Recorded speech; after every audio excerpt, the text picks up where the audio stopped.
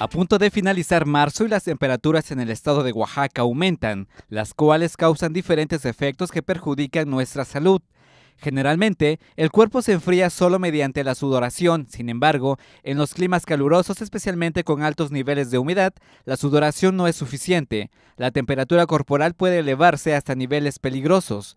La mayoría de las enfermedades causadas por el calor ocurren por permanecer expuestos al mismo demasiado tiempo, por el ejercicio excesivo y las condiciones físicas. Los adultos mayores, los niños pequeños y las personas enfermas o con sobrepeso tienen un mayor riesgo. Las relacionadas con el calor son las siguientes. El golpe de calor, una enfermedad peligrosa para la vida en la cual la temperatura corporal puede subir por encima de los 106 grados Fahrenheit en minutos. Los síntomas pueden incluir piel seca, pulso rápido y fuerte, así como mareos. El agotamiento por calor, que puede preceder al golpe de calor. Los síntomas pueden incluir sudoración profusa, respiración rápida, así como pulso acelerado y débil. Los calambres por calor, son dolores o espasmos musculares que ocurren mediante el ejercicio intenso. Las erupciones cutáneas por calor son aquellas irritaciones de la piel por exceso de sudoración. Los expertos recomiendan consumir abundantes líquidos,